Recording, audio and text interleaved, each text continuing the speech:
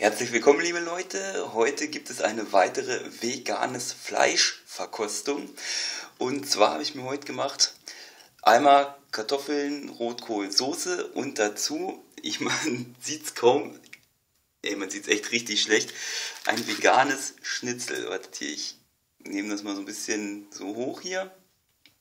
Also, ja, sieht halt wirklich schnitzelmäßig aus, so mit der Panierung und so.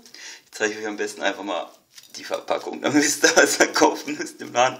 Oh Mann, das zerfetzt hier schon voll das Brett. Naja, also mal schauen.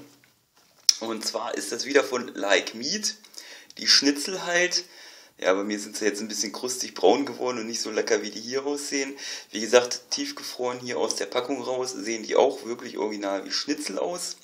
Das jetzt eine 200 Gramm Packung. Ähm, ich bin mal gespannt. Ich habe da jetzt nicht so wirklich die großen Erwartungen dran da ja auch die Steaks echt wie Schuhsohle geschmeckt haben und ja, ich bin bis jetzt noch nicht so begeistert von diesen Like Meat Produkten.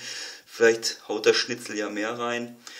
Ansonsten, ich habe da ja noch ein paar andere Sachen von. Vielleicht ist ja irgendwas, was mal einigermaßen schmeckt. Es muss ja jetzt nicht unbedingt nach Fleisch schmecken, aber wenn es nicht so diesen Schuhsohlen-Style hat, dann wäre ich auch schon mal ganz zufrieden.